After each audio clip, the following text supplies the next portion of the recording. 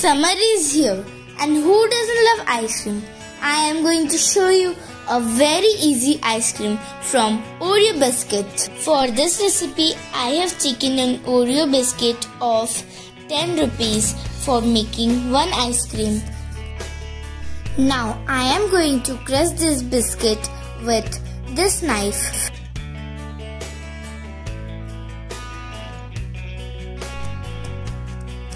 See guys, the Oreos are crushed nicely. Now it's time for us to cut the top part. Now keep it in the glass. Now add some milk. I have added some cardamom in the milk. Now I will add some dry fruits.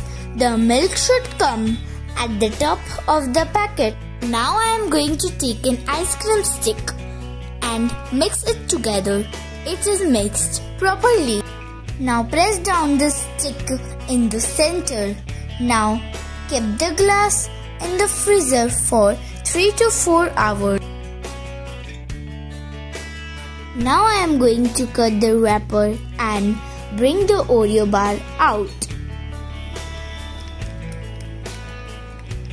Look, it's looking so tempting. It's very simple to make, isn't it? It's so tasty that you can't stop eating it. Chocobar ice cream is ready for eating. Make it more tasty, I am going to pour some chocolate sauce. So if you like my recipe, please subscribe my channel and yes, don't forget to press the bell icon. Bye bye. See you in the next video.